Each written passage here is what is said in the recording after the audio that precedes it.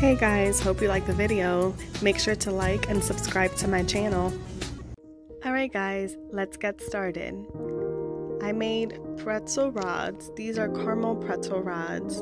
And I just took three caramel squares, put them in the microwave for a couple seconds, and then kneaded them together.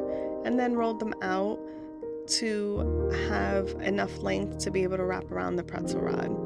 Here I'm showing you the back. You just want to push the caramel in onto the back of the pretzel and then you just want to work the caramel around the pretzel rod and you want to make sure that the caramel isn't too hot or too warm because you want it to be able to maintain its shape and then here at the end, you want to make sure that the caramel is facing the back of the pretzel rod and you just want to pull and detach the rest of the caramel.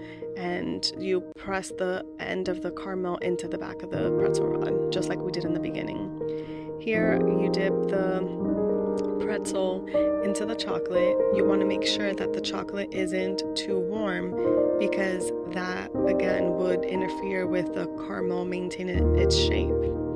And then for the end, you just can decorate however you would like. This one, I just, once it was all dry, the chocolate was dry and set, then I just painted it with a rose gold um, luster dust.